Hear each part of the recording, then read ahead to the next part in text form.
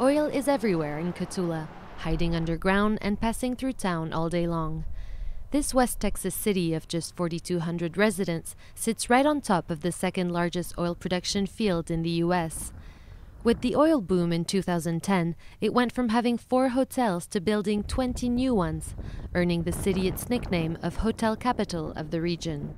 We had probably the highest uh, priced uh, Holiday Inn Express in the U.S. You know, you were uh, charging uh, somewhere around two, three hundred dollars a room, and it was a hundred percent occupied, and and you couldn't get a, a room if you wanted to.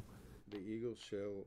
The reason behind the city's popularity is its key location between the Permian Basin and the major export harbor of Corpus Christi.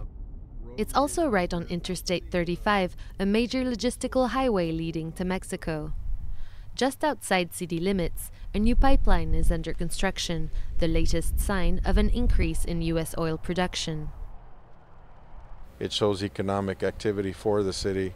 Uh, they have to have people on the ground to be able to monitor uh, the pipelines to make sure that they're checked and all of that. And so it creates employment within our communities, which is a, a blessing for us. This blessing has also proved to be a curse. In October 2014, with oil production exceeding demand, the bubble burst, causing prices to tumble to levels unseen in a decade. The oil industry came to a screeching halt, and the effects were immediately felt in Cotulla, with layoffs and empty hotels. This establishment even went bankrupt and had to close down. Four years on, activity has picked up again, but some residents remain nervous. We have all this, the infrastructure set up to be running at this big pace, but then we turn around and we slow down, and then all of these hotels and the people that are employed and stuff like that.